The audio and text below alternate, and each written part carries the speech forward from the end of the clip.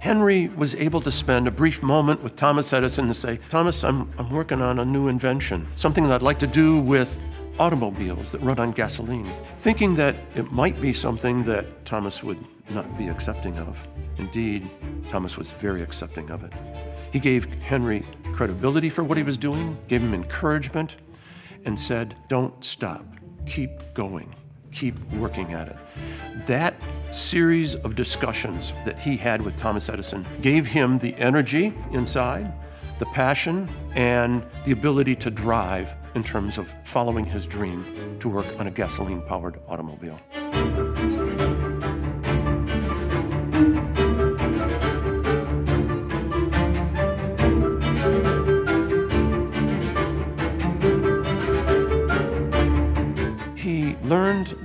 He was much more interested in mechanical devices, how things worked. He could take anything apart and put it back together again and make it work.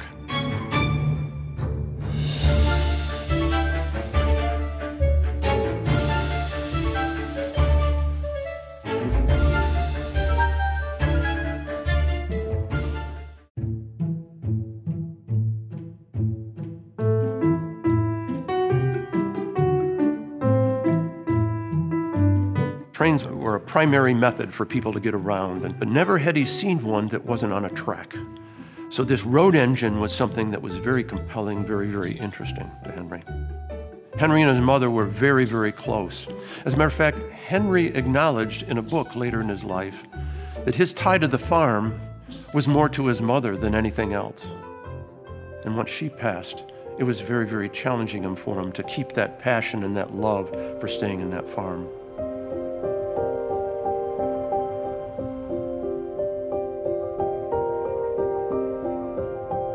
In 1879, he took on a low level job as an apprentice where he was going to learn tooling and other kinds of primary skills that he's going to need that he's going to use later on. Those jobs then came very frequently, one after the next, because he saw new opportunities, new opportunities to learn new things and do new things.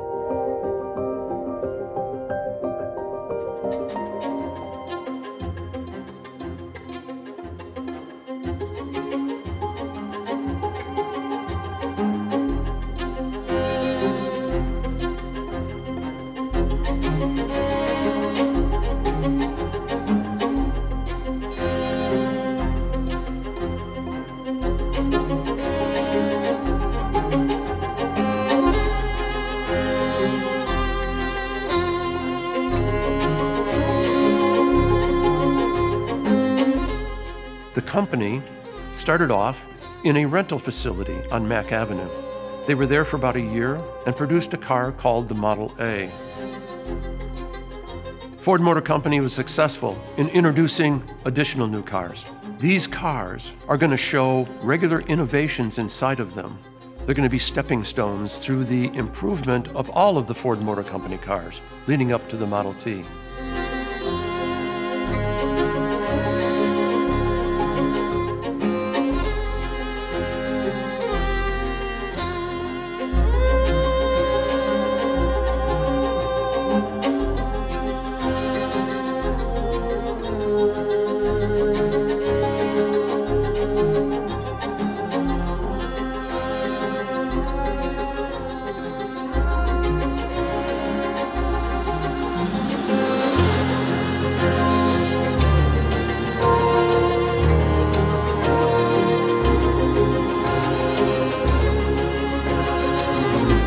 The Model T was quickly named as the car that put the world on wheels. It was affordable, it was reliable, it was attainable, and what it did is it mobilized the world.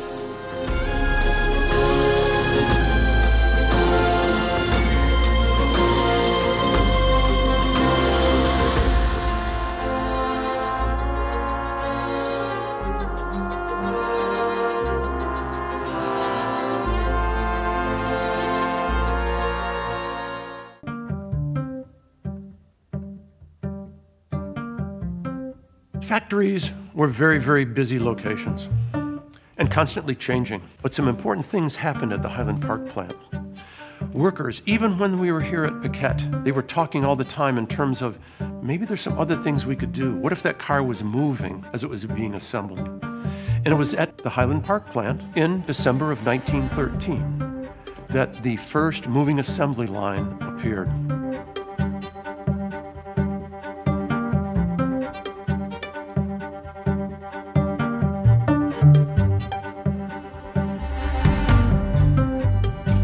So now, instead of the workers moving and the parts all coming to different locations, they found that they could organize that factory in a way so that the workers really stayed stationary, but it was the vehicle that was moving down this assembly line.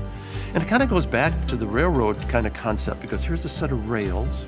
Actually, they had multiples of these same rails set up inside of the factory so that these vehicles could start still with the chassis and the axle, and eventually this is rolling along now on this track.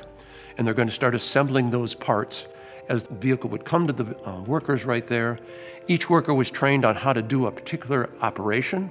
They would do that operation and then wait for the next car to come along. Very effective and very, very timely. They were able to produce lots more cars in this way, and the price of the cars went down considerably because they could see that they could produce them more quickly.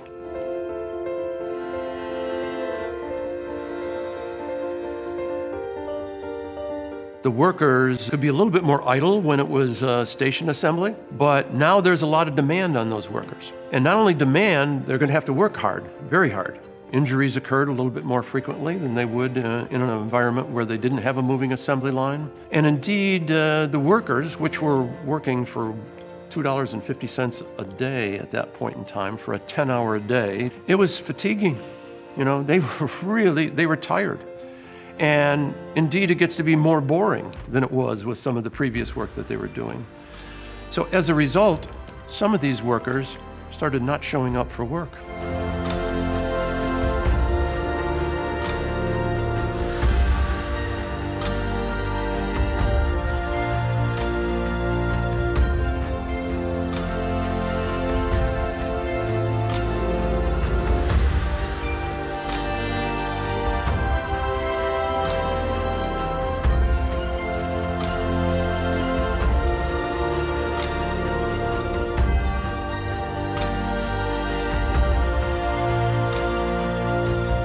Can imagine that's going to have a mammoth impact on profits. And the whole industry, the competitors now that are Henry's, come out in the newspaper and every other kind of media that they can saying, this is ridiculous. This is going to destroy the profits, you know, that we're making inside of the automobile industry. They were wrong. It formed such an enticement that we now had people coming from foreign lands looking for jobs here in Detroit because to make $5 a day was just absolutely unheard of. Those people that had those $5 a day jobs now were very interested in keeping them, and they knew that they had to show up to work each day to be able to do that. But Henry also was creating something else.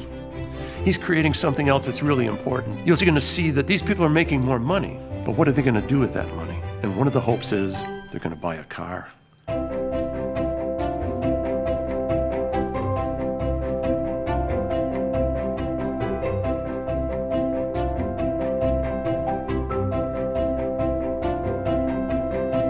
Altogether, Ford Motor Company is going to make 15 million Model Ts. 15 million Model Ts is a mammoth number. Henry actually had 20 locations in the United States that were assembly locations for Model Ts, and there were 21 of them around the world. This enabled the world to see the importance of the moving assembly line. So now you can see competitors had really close examples in terms of how Ford was able to economize the manufacturing of automobiles, how they were successfully able to make tremendous growth in terms of profit margins, et cetera. So these lessons were something that were being taken to many, many different foreign countries so they could benefit from that. He also helped the world because all those workers that were in those foreign plants, they didn't come from the United States at all. They came right from the country where those happened to be installed. And that was helping their economy and it was also helping their growth and their expansion because now they had the automobiles that they needed to be mobilized, to be able to do the things, both in terms of work as well as family.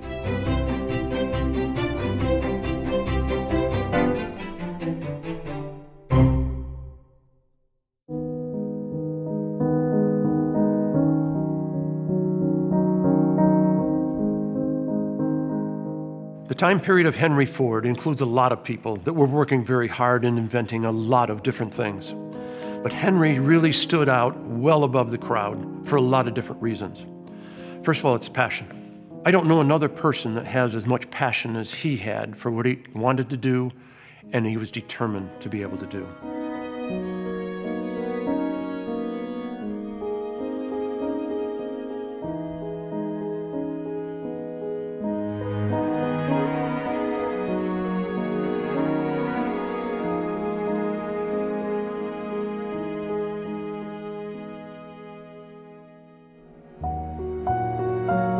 The people that were loyal to him, the people that came here, were extremely successful, yes, in business, and yes, in terms of making money. Because those are the things that he could give them as the simple rewards. They were going to take other people that had that same passion, that same thrive, that same will to, to do their best, and he's going to make sure that he's going to hang on to those people as well as he could.